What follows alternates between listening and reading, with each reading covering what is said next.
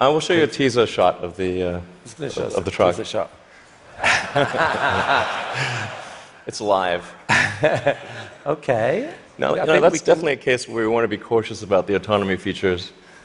Um, yeah. Because that, that just we can't see that much of it, but it, it doesn't look like just a little friendly neighborhood truck. It looks kind of badass. How, how, what sort of, what sort of semi is this?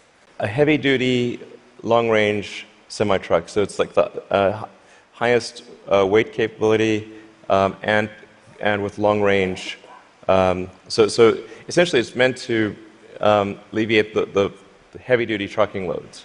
So. There's, there's a great movie to be made here somewhere. I don't know what it is, and I don't know that it ends well.